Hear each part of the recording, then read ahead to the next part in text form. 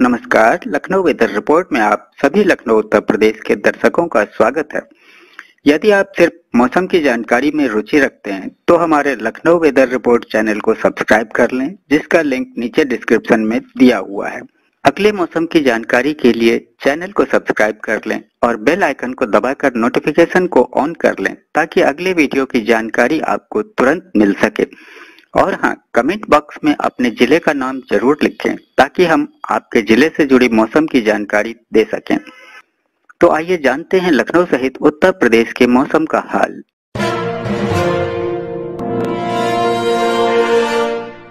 तो आइए देखते हैं कि 25 और 26 जुलाई को भारतीय मौसम विभाग के अनुसार उत्तर प्रदेश में कैसा रहेगा मौसम का हाल और क्या है मौसम पूर्वानुमान।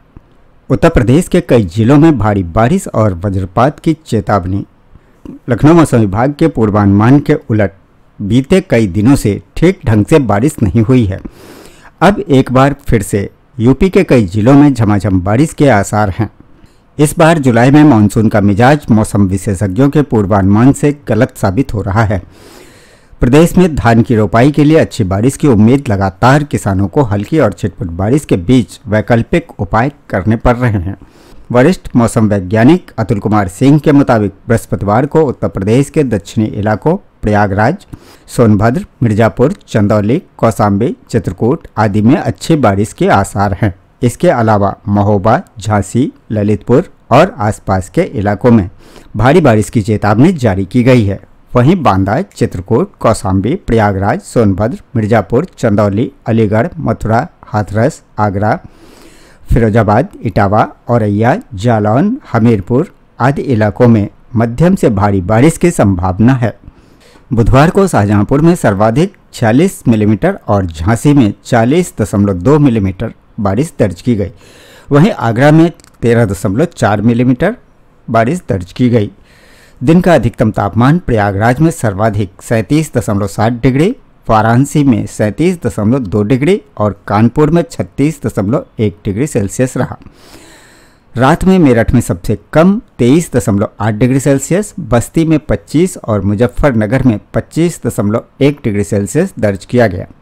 इसके साथ ही जिन जिलों में वज्रपात की चेतावनी जारी की गई है, वो ज़िले हैं बांदा, चित्रकूट कौसाम्बी प्रयागराज, फतेहपुर, प्रतापगढ़, सोनभद्र, मिर्जापुर, चंदौली, वाराणसी, जौनपुर, गाजीपुर, आजमगढ़ फरुखाबाद कन्नौज, कानपुर, उन्नाव, लखनऊ, रायबरेली, अमेठी, सुल्तानपुर, अयोध्या, सहारनपुर और शामली में गरज के साथ वज्रपात की चेतावनी जारी की गई है।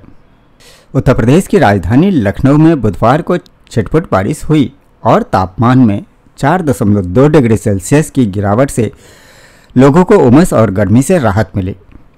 दोपहर से ही राजधानी लखनऊ में काले बादल छाए रहे। वहीं कृष्णानगर, आलमबाग गोमती नगर विस्तार आदि इलाकों में बूंदाबांदी से मौसम खुशनुमा हो गया। मौसम विभाग के मुताबिक बृहस्पतिवार को भी लखनऊ में छिटपुट बारिश के आसार हैं।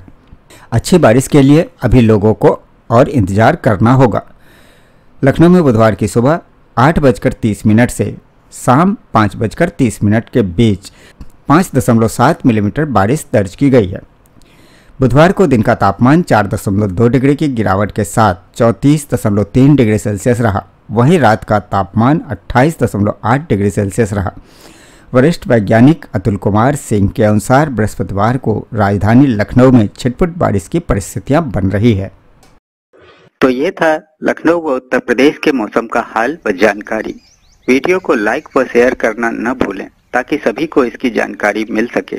मिलते हैं अगले वीडियो में। तब तक के लिए जय हिंद, जय भारत, जय किसान।